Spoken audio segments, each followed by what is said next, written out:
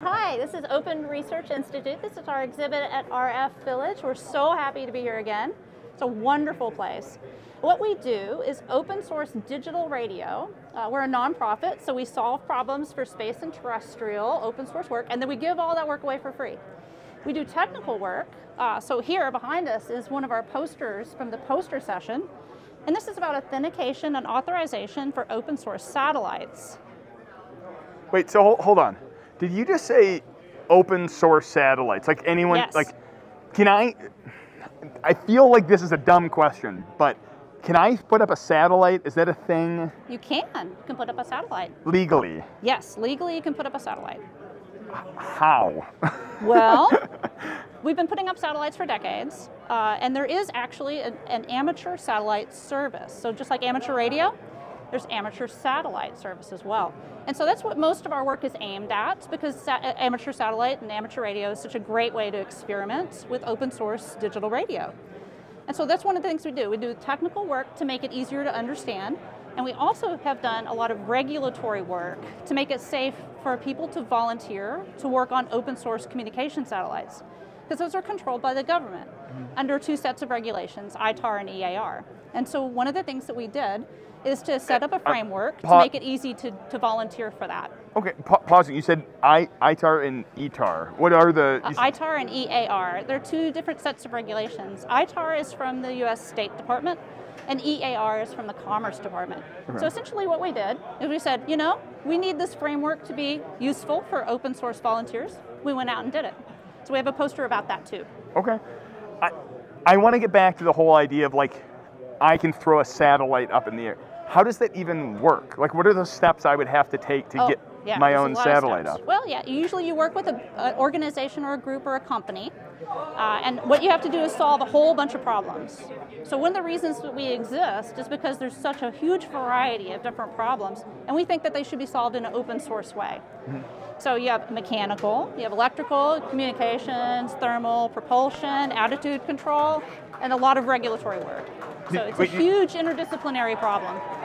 And that's open source, like just Yes. freely available. Yes. So, how do you get like how do you you fund it? Is it funded out of donations? Is it funded out of sponsorships? Yeah, in general, amateur radio, uh, amateur satellites have been funded through uh, donations or in-kind contributions uh, through it for, for many decades. Uh, there's an amateur satellite that happened right almost after Sputnik. So this is something that's been going on for decades, and it's been done by a, a really dedicated, wonderful uh, group of people over time. So, so the answer is yes, you can do it, and it's usually funded by donations uh, or, or you know, either donations from individuals or from companies. Be- Because the question I have is like, so I want to get involved. I'm. This is fascinating that you can just ha- open source all of this because at a certain point it, it feels like these are secret things. They were. For the longest, it was very difficult to volunteer and to, to do this in the open. Um, so that, that was one of the first things that we had to tackle was to, to help make it safe from a regulatory point of view to do it. Because the vast majority of satellite work is done under closed or proprietary conditions.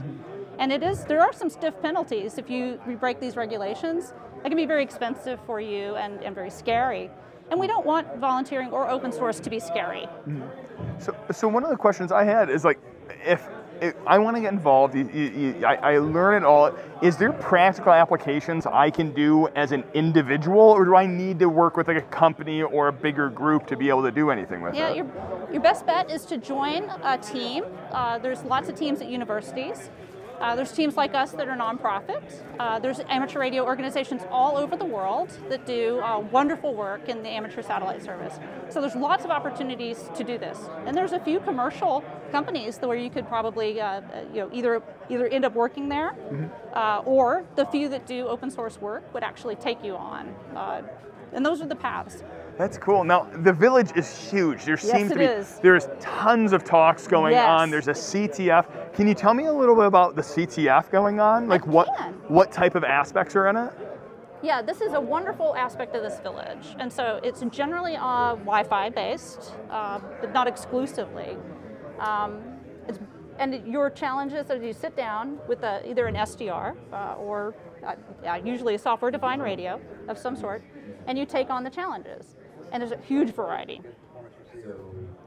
So when you take on the challenges, you have, you have a software-defined radio. Are you you're scanning for the challenges, scanning through the frequencies. You're trying to find, connect and communicate, and maybe dump the information. Is Just that... like any good question, the answer is it depends because okay. there's a huge variety of ways to do a wireless CTF like this.